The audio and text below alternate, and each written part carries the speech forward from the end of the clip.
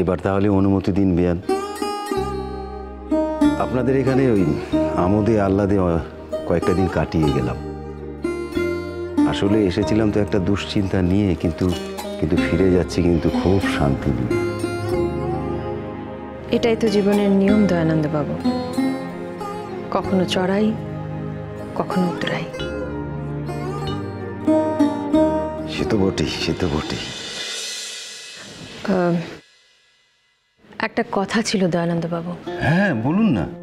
এই চৌধুরী বাড়ির বৌরানী আর বৌমণিকে আপনার দায়িত্বে ছাড়ছি। আপনি দেখবেন ওদের যেন কোনো অসুবিধে না হয়। হ্যাঁ আমি জানি আপনি ওদের জন্য খুব চিন্তা করে বিশেষত কনক মার জন্যে। আসলে ওর শরীরটা একদম ভালো নেই। কোনো রকম প্রয়োজনে কোনো দরকারে আমাকে ফোন করতে একটু দ্বিধা করবেন না প্লিজ। বেয়ান আপনাকে আমি আশ্বস্ত করছি ওদের ওদের আমি কোনো অযত্ন হতে দেব না। দেখবেন আপনি। এই সামলে আরে এরপর থেকে কোথাও বেড়াতে গেলে আমাকে আগে থেকে বলবে তো? দশজন কুলির ব্যবস্থা করব? ভারী দশ কুলি? সামান্য একটা ব্যাগ তুমি নামাতে পারছ না? দেখুন এটা নাকি একটা সামান্য একখানা ব্যাগ। এর মধ্যে তিন চারজন না আরামসে চালান করা যাবে। চালান আচ্ছা এর মধ্যে কি নিয়েছো তো বলো তো? হ্যাঁ? দুনিয়ার কসমেটিক্স নিয়েছো বোধ না? ও আমি কসমেটিক্স নিয়েছি না? আরে বাবা তিন চারটে জামা কাপড় মোটে নিয়েছি বাপের বাড়ি যাচ্ছি না? আস্তে অভ্র। তিন চারটে না আমি আমি হান্ড্রেড পার্সেন্ট শিওর এখানে তিন চারশো জামা হবে। তুমি হিসেবে গন্ডগোল করেছ। আচ্ছা আচ্ছা আচ্ছা ঠিক আছে। এই তোর হয়েছে তো? তাহলে আমি ট্যাক্সি ডাকতে পারি? ট্যাক্সিতে কেন বাবু? আমার আমাদের বাড়ির গাড়ি আপনাদের ছেড়ে দিয়ে আসবে। কিন্তু কনক কোথায় বলো তো? ও ও এখনও আসেনি? নিশ্চয়ই রেডি হয়নি। কনক? কনক? ও ও আসছে বিয়ান। আসছে।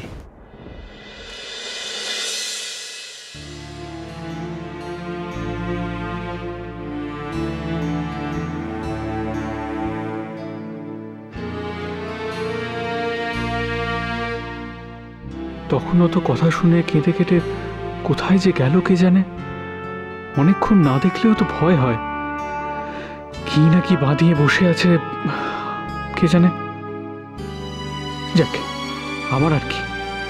এখন তো সব নতুন নতুন বন্ধু জুটেছে, তারাই বুঝবে।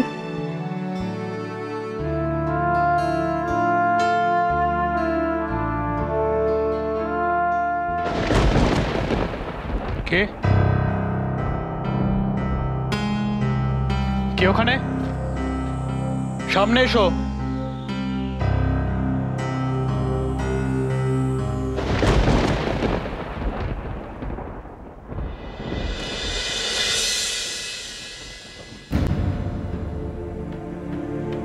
আবার ক্ষমা টমা চাইবে নির্ঘাত?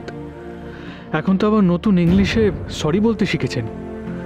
মুখটা দেখো, যেন কতই ভয় পায়। সবর অ্যাক্টিং হাঁ করে দাঁড়িয়ে থেকো না। যা বলার আছে বলো, দিয়ে যাও।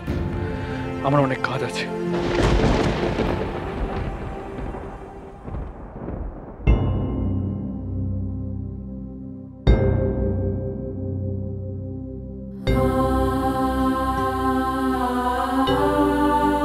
আমি চলে যাচ্ছি। মামির সাথে। মা আমায় অনুমতি দিয়েছেন।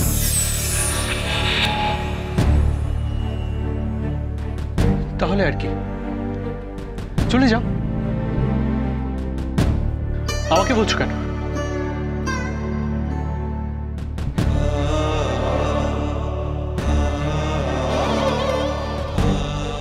যাও।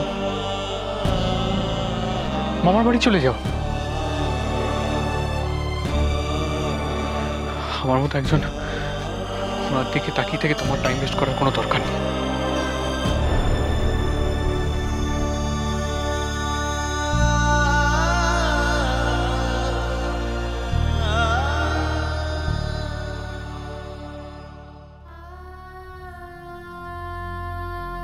শুনেছি, একটা পাখি পুষলেও তার প্রতি লোকের মায়া জন্মায়। আমি কি এতটাই খারাপ যে আমার জন্য ওর মনে সেটুকু মায়াও নেই? এক বছরে ওর মনে এইটুকু জায়গাও করতে পারিনি আমি।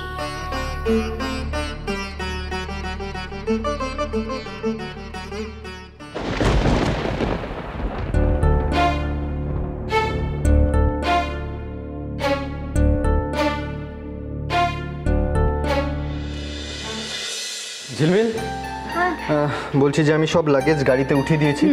তুমি মার বাবাকে নিয়ে চলে এসো হ্যাঁ? আরে দাঁড়াও আগে তোমার বৌরানি কোথায় সেটা দেখি।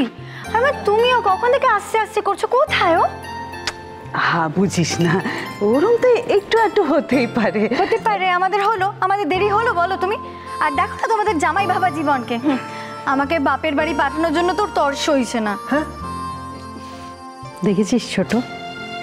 দুটোতে মিলে কীরকম ঝগড়া করছে। না দিদিভাই সত্যি অনেকটা রাত হয়ে গেল ওনারা অনেকক্ষণ ধরে দাঁড়িয়ে আছেন। আমি বরং দেখি কনক কোথায়।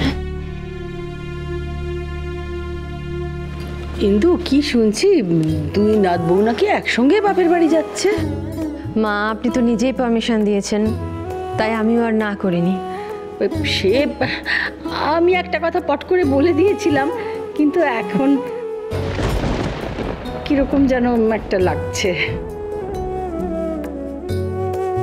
মাসিমা আপনাদের যদি মন খারাপ হয়ে থাকে মানে অন্য একদিন নয় ওদেরকে বাবাটা না সত্যি। বেশি ভালো মানুষই দেখানো স্বভাবটা আর গেল না। আমাদের মন খারাপের কথা বলছেন? ওদের না নিয়ে এ বাড়ি থেকে গেলে আপনাদেরও কি ভালো লাগবে? ও আমাদের কথা বাদ দিন। আরে ওই তো ওই তো বউরা নিয়ে এসে গেছে।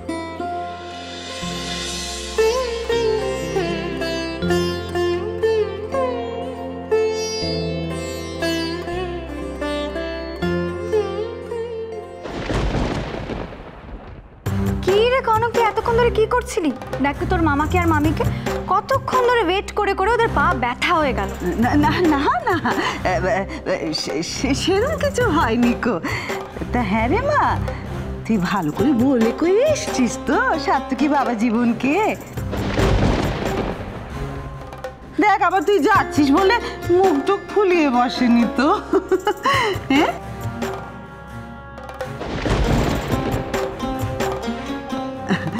যাক বাবা তাইলেই না হয় নিশ্চিন্ত হওয়া গেল। আমরা নিশ্চিন্ত হয়ে এবার বাড়ি যেতে পারব। তা যা জিনিসপত্র সব নিয়ে নে চল চল যাই। আহ, ব- ব- সব দাঁড়িয়ে আছে পেনাম কর।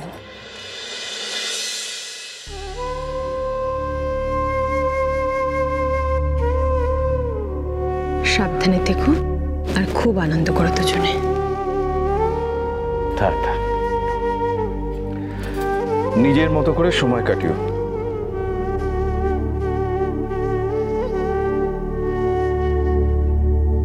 ভালো থেকো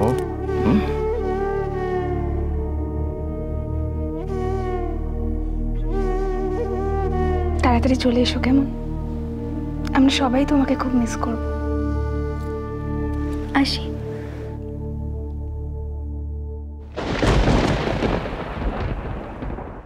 সীতা বুনো বাসে যাচ্ছে যেন।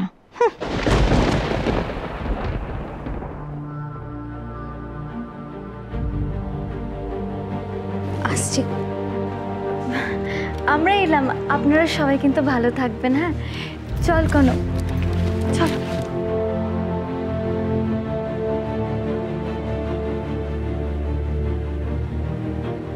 কনক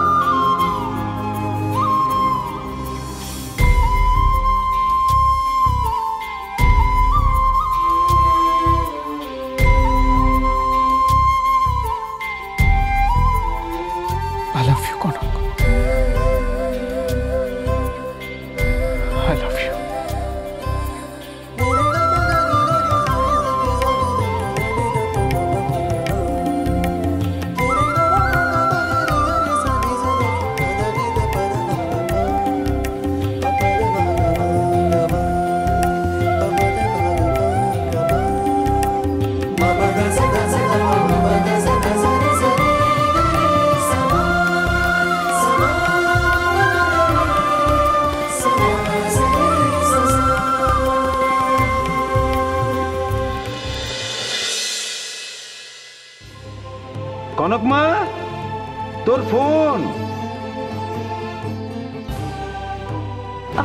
আপনার রাগ কমেছে? আমি জানতাম আপনি আমার উপর রাগ করে থাকতে পারবেন না। রাগ করে থাকলে কাকে স্টুপিড বলবেন শুনি?